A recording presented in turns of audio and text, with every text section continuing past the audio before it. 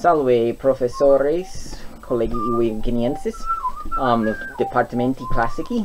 Nomen meum Davidus Rodminus est et ego sum unus reactorum tuorum uh, quos reicistis hoc anno um, ego qui applicabam pro ingresso in programma cursum tuum graduatum. Um, so hoc mihi maxime displicit quia nullas rationes praebuistis pro actione tua ergo ego epistulam decano misi uh, peten, petens has rationes et sane ille non responde respondet quia ille sapit nihil, ille, ille non est in departamento tuo, um, tamen responso deficiente carente ego vobis ipsis nunc um, verto et peto de vobis uh, cur hoc fecistis um, cum tantae rationes sint pro accipiendo me cur fecisti contrarium. Um ergo cur. Cur accipere debi de, debuistis. Well primum as ego non petebam illum locum illam officinam illam positionem quae stipendiam recipit.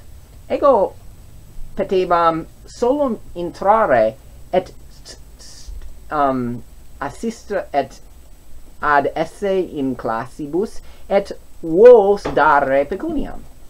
Non petebam ut vos mihi pecuniam detis sed ut uti ego vobis pecuniam dem.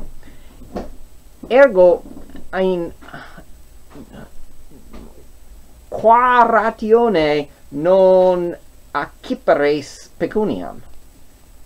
Senten sententiam non facet. Um insen insensibiliter fecistis non?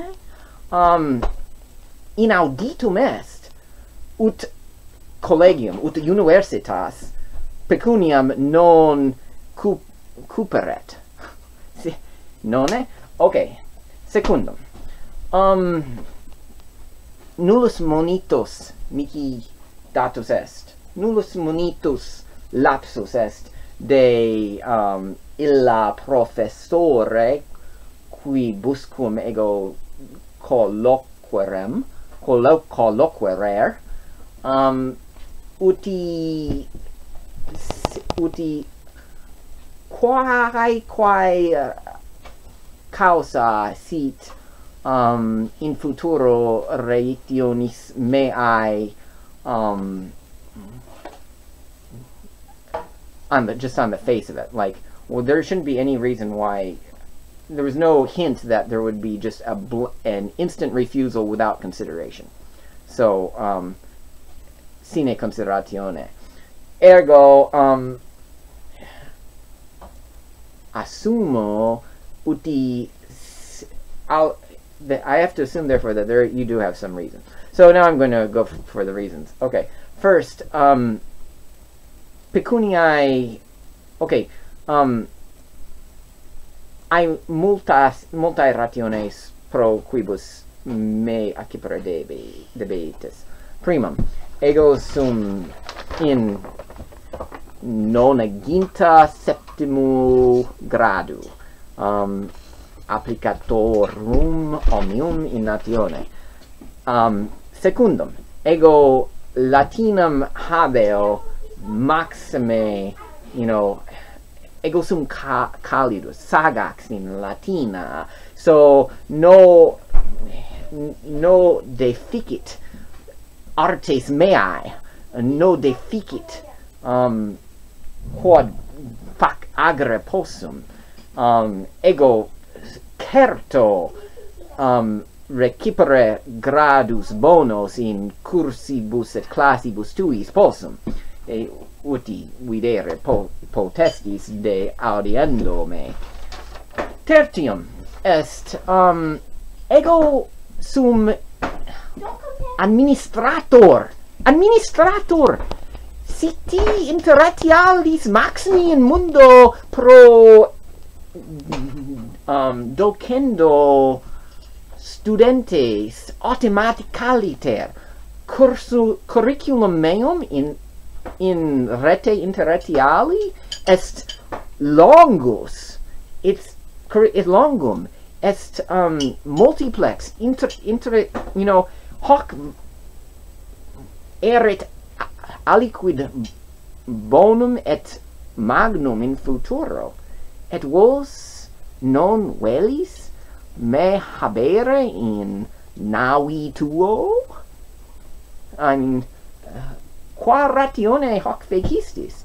Um ultimum est ego vobis octingenta quinque dollaribus pecuniae exsolvi um debeor ad minus plusquam unam sententiam nudam automaticaliter factam um quae quam quae mita est ad omnibus ad omnes alias um, reiecto studentes in omnibus subjectis in toto mundo.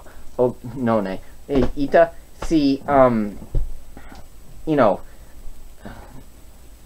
hoc est sensus basicus.